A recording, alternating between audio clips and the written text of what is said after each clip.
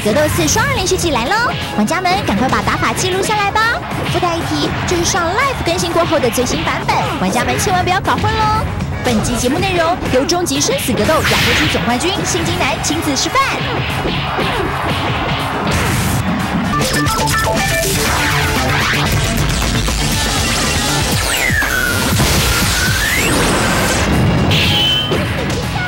今天有哪些精彩连续剧呢？马上来看第一组选手。首先，第一组登场的是摔跤手系列的 Tina 加上 Bam。这个连续技适用于重量级以下的对手身上。玩家要注意的地方就是 Bam 出场之后，其中有一段上 PP 的地方。这里如果对手靠墙壁太近的话，会出现爆墙的效果。虽然爆墙的威力比较大，但是这样一来啊，后面的连续技也就接不起来了。所以一定要特别注意才行哦。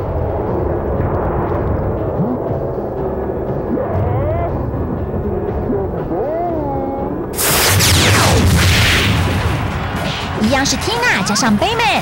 现在我们看到的是对所有角色都适用的连续技。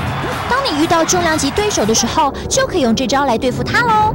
这招属于上一招的变化，两者的差异在于，最后 Tina 出场之后，原本是先前斜上劈，再接转半圈摔，在这里就不用那么麻烦喽，直接使用转半圈摔来做结尾就可以了。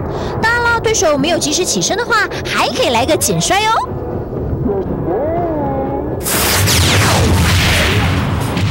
接下来出场的是哈亚布萨搭配哈亚特，同时这也是介绍双人连续剧以来第一组两个出场角色都是男的。这个连续剧适用于中量级以下的对手，要注意哈亚布萨的背对后 K 不能爆墙，不然后面会接不到。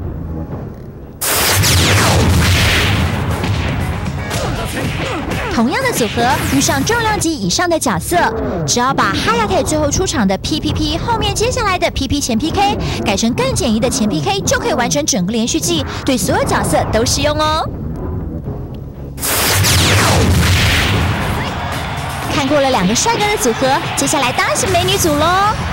阿亚内加上卡苏米这招连续技适用在重量级以下的对手身上，但是必须要以对手中段踢的反击来开始。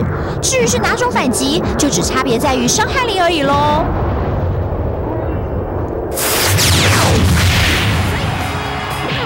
遇到重量级角色，一个中段脚踢过来。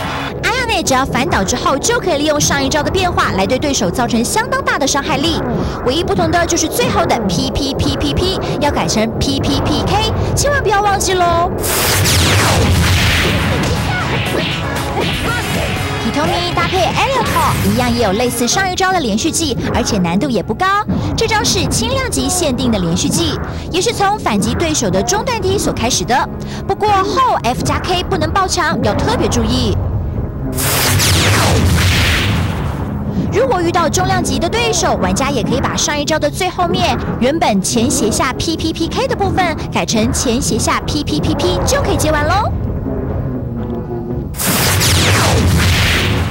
当对手是重量级的时候，玩家就必须把 A 六头的前斜下极气 P 拿掉，改成前斜下 P P P K 来完成。至于对所有角色都通用的连续技，招式就没有前面那么多了，是不是很简单呢？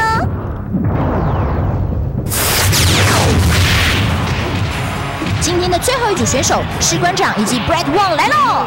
这招连续技适用于重量级角色的身上，在这里玩家要特别注意的地方是，Brad Wong 的前斜下极气劈，把对手打到浮空之后，对手要比较靠近墙壁一些些，这样一来，后面的连续技才能接得到哦。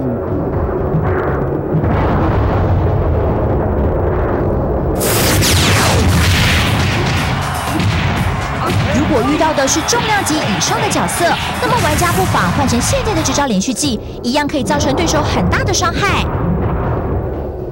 下周还有更多更精彩的连续技，喜欢生死格斗四的玩家想成为高手吗？